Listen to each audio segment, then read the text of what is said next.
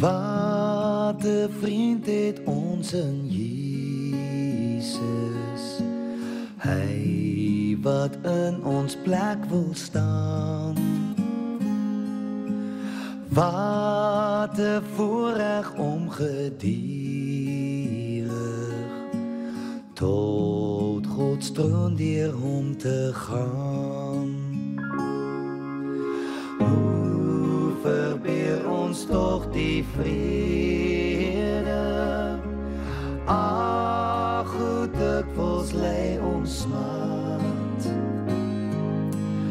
Net omdat ons nie ons noode uitstort in God se Vaderhart. As versoeking en beproewing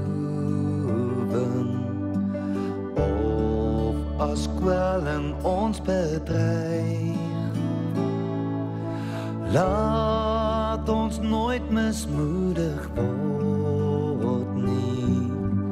Laat ons bedes opwaarts styg.